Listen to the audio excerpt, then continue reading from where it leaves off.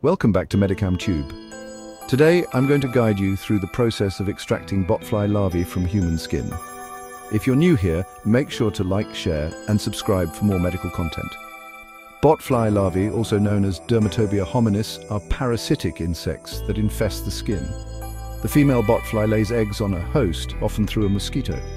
When the eggs hatch, the larvae burrow into the skin, causing myiasis. Look out for a small, raised red bump with a central hole. You might feel pain, swelling, itching, and even movement within the bump. Sometimes there's a clear or yellowish discharge from the hole.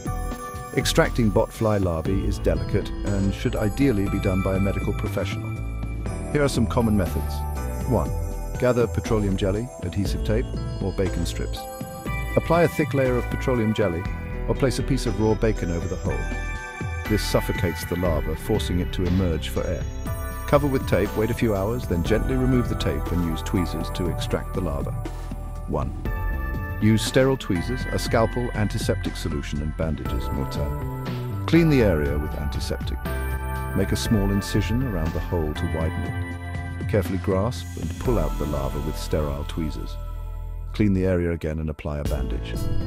1. Administer ivermectin orally or topically to kill the larvae. This method is often combined with other techniques. Ivermectin should be prescribed by a doctor. Clean the wound with antiseptic. Apply antibiotic ointment and cover with a sterile bandage. Monitor the area for signs of infection like increased redness, swelling or discharge.